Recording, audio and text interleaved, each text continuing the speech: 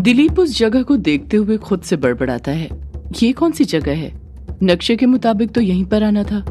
पर यहाँ पर तो मुझे कहीं भी गुप्त धन दिखाई नहीं दे रहा है। आखिर वो कहाँ पर है? दिलीप अपने आसपास देखने लग जाता है, पर उसे कहीं भी ऐसी कोई जगह दिखाई नहीं देती है, जहाँ पर खजाना हो। उसे अपने आसपास कोई संदूक भी दिखाई नहीं देता है, जिसके अंदर अघोरी का गुप्त धन छुपा हुआ हो। दिलीप फिर से निराश हो जाता है। उसे अपने आप पर गुस्सा आने लग जाता है कि उसने इतनी मेहनत करी थी, पर तब भी उसके हाथ कुछ नहीं लगा था। वो अभी भी खाली हाथ ही था। दिलीप खुद को कोसते हुए कहता है, मुझे यहाँ पर आना ही नहीं चाहिए था। कोई गुप्त धन है ही नहीं। मैं ही पागल था जो गुप्त धन के लालच में यहाँ पर आ गया। यही सब कहते हुए दिलीप वहाँ से वापस जा ही रहा था कि तभी उसकी नज़र उस जगह पर पड़ती है जहाँ पर लकड़ी से बनी पाँच मूर्तियाँ थी। वो उनके पास जाता है और उसे देखता है तो उसकी नज़र उनमें से एक मूर्ति पर पड़ती है और वो देखता है कि वो एक मूर्ति, उन पाँच मूर्तियों में से कुछ अलग थी। उसको देखने पर ऐसा लग रहा था जैसे वो मूर्ति उसे अपनी तरफ़ खींच रही हो। वो नोटिस करता है कि देखने में तो सभी मूर्तियाँ एक सी लग रही थी, लेकिन वो वाली जो मूर्ति थी वो कुछ अलग थी। उस वाली मूर्ति में यक्षिणी का निखार और ज़्यादा निखर कर सामने आ रहा था। उसे एक टक नज़र से देखने पर तो कभी कभी ऐसा लगता था जैसे वो कोई मूर्ति नहीं, वहाँ पर सच में यक्षिणी हो। दिलीप उस मूर्ति में एक और बात नोटिस करता है कि उस मूर्ति के कान में एक झुमका था, सोने का झुमका, जो अंधेरे में और ज़्यादा चमक रहा था। उस सोने के झुमके को देखकर दिलीप की आँखें चौंधिया गई थी। अब उसे लगने लग जाता है कि वो एकदम सही जगह पर आया था। हो न हो अघोरी ने गुप्त धन वहीं कहीं छुपाया था। उसे उसके अंदर से आवाज़ें आने लग जाती हैं। उसका मन बार बार यही कहने लग जाता है कि अघोरी का गुप्त धन वही है। बस उसे ढूँढने मात्र की देर है। दिलीप बौखलाहट के साथ उस मंदिर में से वो झुमका निकाल लेता है और अगला झुमका निकालने के लिए अपने हाथ आगे बढ़ाने लग जाता है। अभी उसने अपना हाथ आगे बढ़ाया ही था कि तभी वो देखता है कि उस मूर्ति के कान में दूसरा झुमका नहीं था। दिलीप उस मूर्ति को देखते हुए कहता है, ये क्या? इस मूर्ति का एक झुमका तो गायब है। दूसरा झुमका कहाँ पर गया? दिलीप ने इतना कहा ही था कि तभी उसके हाथ में जो पहला झुमका था, वो भी उसके हाथ से छूट जाता है और नीचे गिर जाता है। दिलीप जब उस झुमके को उठाने के लिए नीचे झुकता है तो देखता है कि जहाँ पर पहला झुमका गिरा हुआ था, उसके पास ही दूसरा जोड़ी झुमका भी गिरा हुआ था। दिलीप खुश होते हुए कहता है, मिल गया दूसरा झुमका भी। दिलीप अगले ही पल दोनों झुमकों को उठा लेता है और जब वो उन दोनों झुमकों को उठाकर एक बार फिर मूर्ति को देखता है तो उसे वो मूर्ति अधूरी अधूरी सी लगती है। जैसे उस मूर्ति में कोई कमी हो, दिलीप के मन में न जाने क्या आता है। वो झुमके वापस से उस मूर्ति के कान में लगाने लग जाता है। जैसे ही दिलीप उस मूर्ति के कान में दोनों झुमके लगाता है, वो देखता है कि उसके सामने जो सकरी नदी बह रही थी, वो दो हिस्सों में बटने लग जाती है। ऐसा लग रहा था जैसे कोई उस नदी को तलवार से दो हिस्सों में काट रहा हो। ये सब देखकर दिलीप की आँखें खुली की खुली रह जाती हैं। देखते ही देखते वो नदी दो हिस्सों में बट जाती है। दो हिस्सों में बटने के बाद भी उसका पानी बहते जा रहा था। लेकिन बीच वाले हिस्से में नहीं आ रहा था। वो जगह खाली थी। जैसे पानी दो हिस्सों में बटता है, दिलीप को उस नदी के बीचों बीच एक संदूक दिखाई देता है। दिलीप अगले ही पल भागते हुए उस संदूक के पास जाने लग जाता है। वो बौखलाहट के साथ उस संदूक के पास पहुँचता है और उसे खोलने लग जाता है। जब दिलीप उस संदूक को खोलता है तो उसकी आँखें खुली की खुली रह जाती हैं। वो संदूक हीरे जवाहरात सोने चांदी से भरा हुआ था। दिलीप इतने सारे धन को एक साथ देखकर पगला जाता है और पागलों की तरह चीखते हुए कहता है, मिल गया मिल गया मुझे मुझे अघोरी का गुप्त धन। दिलीप उस संदूक में से सोना चांदी बाहर निकालने लग जाता है। दिलीप उस संदूक से लगातार धन बाहर निकालते जा रहा था। वो बड़ी फुर्ती के साथ उस संदूक को खाली करने में लगा हुआ था, जैसे उसने सोच लिया हो कि वो उस संदूक को खाली करके ही रहेगा। उसके अंदर एक सोने का सिक्का तक नहीं छोड़ेगा। दिलीप उस संदूक को खाली करने में लगा ही हुआ था कि तभी उसके अंदर का सामान निकालते हुए उसके हाथ दुखने लग जाते हैं। उसके हाथों में दर्द होने लग जाता है, वो थकने लग जाता है। दिलीप उस संदूक के अंदर का सामान बाहर निकाल ही रहा था कि तभी वो नोटिस करता है कि वो संदूक में से सामान तो बाहर निकाल रहा था, पर उसके अंदर का सामान कभी नहीं हो रहा था, बल्कि वो अभी भी उतना ही था जितना तब था जब उसने संदूक को खोला था। दिलीप की समझ नहीं आ रहा था कि ये सब हो क्या रहा था। उसे लग रहा था, ये उसका कोई वहम है। इसी वजह से वो इन चीज़ों पर ज़्यादा ध्यान नहीं देता है, बल्कि हाथ दर्द होने के बावजूद भी संदूक के अंदर का सामान बाहर निकालते रहता है। पर कुछ ही देर में उसे इस चीज़ का एहसास हो जाता है कि ये सब उसका वहम नहीं था, बल्कि हकीकत में संदूक का सामान कम नहीं हो रहा था। वो उतने का उतना ही था। अगले ही पल दिलीप को समझ आ जाता है कि उसके हाथ में जो संदूक लगा था, वो कौन सा संदूक था। वही संदूक जिसकी उसने बचपन में उसकी माँ से कहानियाँ सुनी थी, पर कभी यकीन नहीं किया था। हम कहानियों को तब तक झूठा मानते हैं जब तक वो कहानी हमारे साथ घटित नहीं हो जाती है। और आज दिलीप भी अनंत संदूक वाली कहानी पर यकीन करने के लिए मजबूर हो गया था। उसके हाथ आखिर अनंत संदूक जो लग गया था। दिलीप खुश होते हुए कहता है, ये क्या? मेरे हाथ तो अनंत संदूक लग गया। वो अनंत संदूक जिसका खजाना कभी खाली नहीं होता। दिलीप पागलों की तरह हंसना शुरू कर देता है। दिलीप खुशी से पगला गया था। पागल होता भी कैसे नहीं? उसके हाथ अनंत संदूक जो लग गया था। दिलीप उस अनंत संदूक को देखते हुए कहता है, मैं करोड़पति बन गया। मैं दुनिया का सबसे अमीर इंसान बन गया। मुझसे अमीर कोई नहीं। मैं ये सब कुछ ले जाऊँगा। ये अनंत संदूक भी, ये सब कुछ मेरा है। मेरा है। दिलीप पागलों की तरह हँसते हुए खुद के ऊपर अभिमान कर ही रहा था कि तभी उसके दिमाग में एक और ख्याल आ जाता है। उस ख्याल से वो परेशान हो जाता है। अनंत संदूक मिलने से उसके चेहरे पर जितनी रौनक आई थी धीरे धीरे वो रौनक उसके चेहरे पर से उड़ने लग गई थी।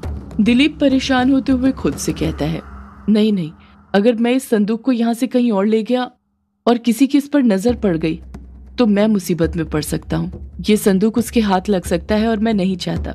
ये संदूक मेरे सिवा किसी और के भी हाथों लगे। इसलिए मैं इस संदूक को यहीं पर रखूँगा। यहाँ से कहीं नहीं ले जाऊँगा।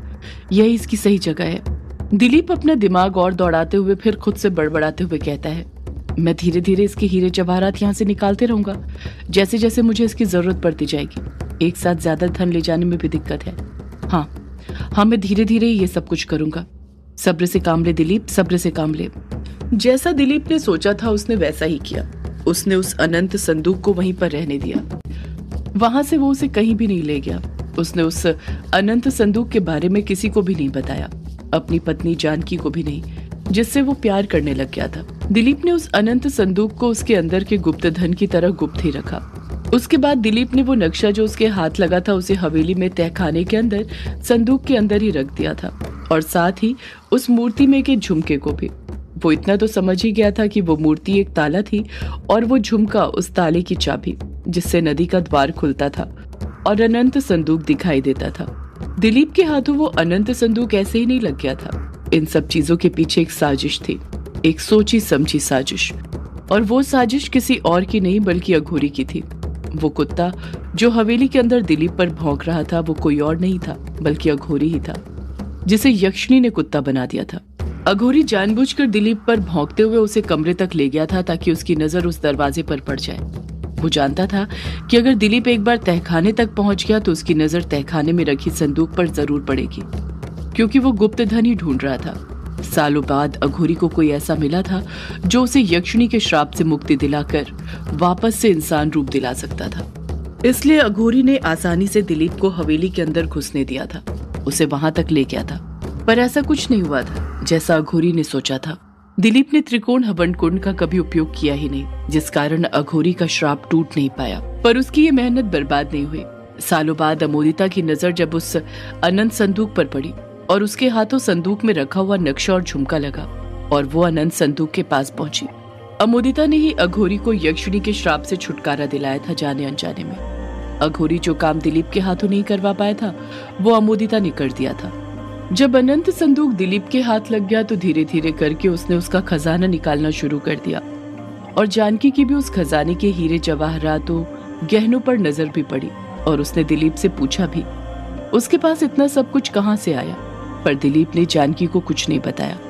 बस गुस्से के साथ कह दिया कि अपने काम से काम रखे, वरना उसे हमेशा हमेशा के लिए उसके मायके छोड़कर आ जाएगा और अपने लिए एक नई घरवाली ले आएगा, जो उससे कुछ नहीं पूछा करेगी। उस दिन के बाद से जानकी की फिर कभी हिम्मत नहीं हुई कि वो दिलीप से कुछ पूछ सके। दिलीप हीरे जवाहरात, गहने, अनंत संदूक में से निकाल कर लाता था और जानकी को दे दिया करता था। और एक आदर्श पत्नी की तरह वो भी अपने पति से बिना कोई सवाल किए उन गहनों को अपने पास संभाल कर रख लिया करती थी। सुदेश की भी इन सब चीज़ों पर नज़र पड़ गई, पर उसकी भी हिम्मत नहीं हुई कि वो अपने जीजा से कुछ पूछ सके। वो जानता था, दिलीप से सवाल जवाब करना मतलब आफत को दावत देना।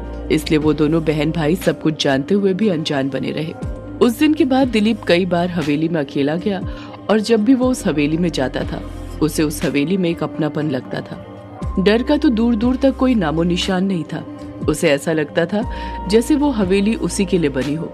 वही उस हवेली का मालिक हो और कई सालों से वो हवेली खुद अपने मालिक की तलाश कर रही थी और उस हवेली ने ही उसे अपनाया हो।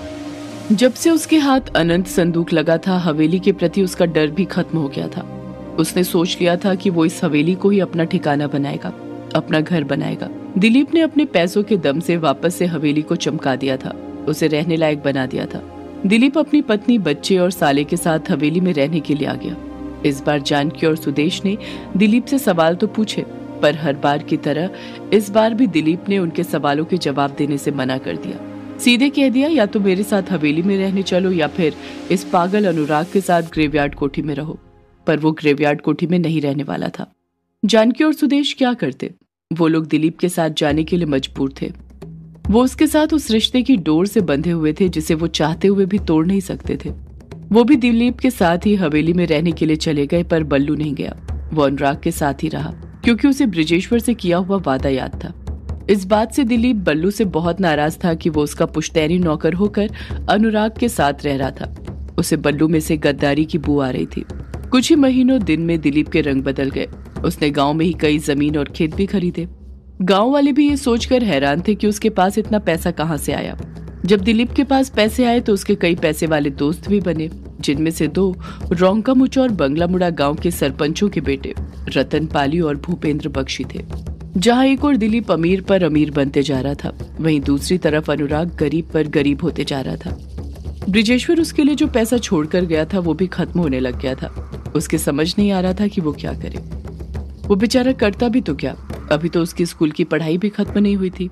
वो बारहवीं कक्षा में पढ़ रहा था। अनुराग ने कई बार बल्लू से बोला कि वो दिलीप के पास रहने के लिए चले जाए, पर बल्लू नहीं गया। बिना कोई भत्ते के अनुराग की सेवा करता गया। कई बार तो वो अपनी जेब खर्च से राशन ले आता था। कहते हैं वक्त अच्छा हो या बुरा, दोनों गुजर ही जाता है, और अनुराग का बुरा वक्त भी गुजरने वाला था। छह महीने बाद उसकी ज़िंदगी में एक नया पड़ाव आया। वो पड़ाव जिसने उसकी ज़िंदगी बदल कर रख दी। सदियों से है पुरानी, ये है यक्षिणी की कहानी। यक्षिणी एक आग है। यक्षिणी तेरा ख्वाब है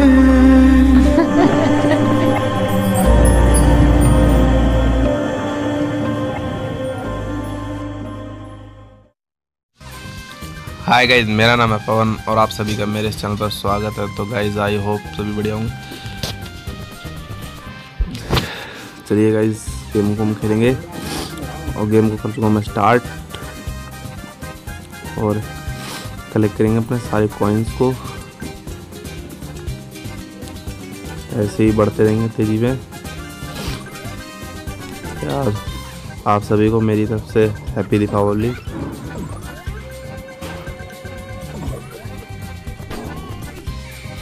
गाइस यक्षनी के सभी एपिसोड सबसे पहले सुनने के लिए हमारे चैनल पर ज़रूर सब्सक्राइब करें। गाइस के लिए सारे कॉइन भी। जब ये मैगनेट मिलता है तो ये कॉइन ये सिंगल लाइन चलती है।